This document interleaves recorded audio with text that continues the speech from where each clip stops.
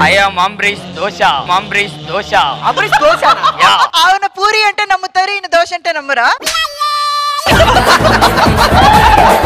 ఒకసారి చూడండి దేవకన్యని. దేవ కన్యన ఈ కన్య మామూలు కన్య కాదు. దగ్గర నుంచి చూస్తే కన్యే కాదు కన్యే కాదు.